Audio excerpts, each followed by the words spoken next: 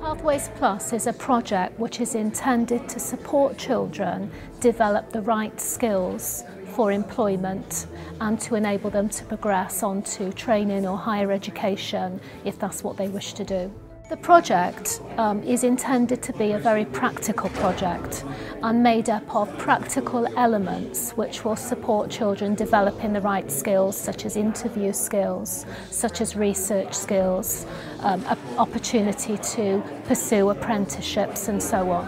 What we want to do is we want to ensure that when children leave statutory education, they have the right skills to engage in workplace training or higher education. And currently we know at the moment that even though some of our very able students are leaving, they don't always have the skills and the resilience to progress further. Pathways Plus is a partnership approach because no, not one of us singly can deliver this for children and young people. What we're aiming to do collectively in Denbighshire is to ensure that when children leave, um, they are employable they have the right skills to enable them to become economically um, active